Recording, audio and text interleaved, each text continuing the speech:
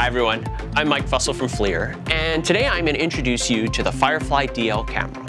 With this camera, FLIR introduces a new class of machine vision device called an inference camera. And FLIR neurotechnology makes this possible.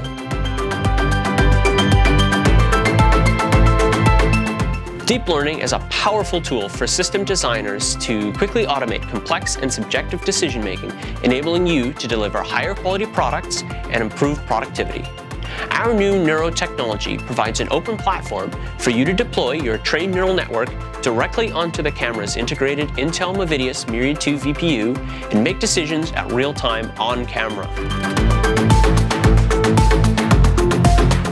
Neuro supports open source frameworks, including TensorFlow and Caffe, for maximum flexibility and is ideal for the inference functions of object detection and localization and classification.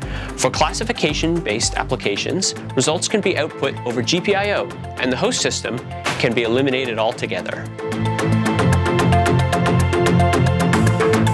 Firefly DL is a true machine vision camera. The first model features a 1.6 megapixel global shutter Sony IMX296 Pregius sensor, ensuring it captures accurate images even in challenging lighting conditions. Four bidirectional GPIO lines support hardware triggering and localization, while GenICam and USB 3 Vision protocol compatibility mean out-of-the-box support for a wide range of popular third-party libraries.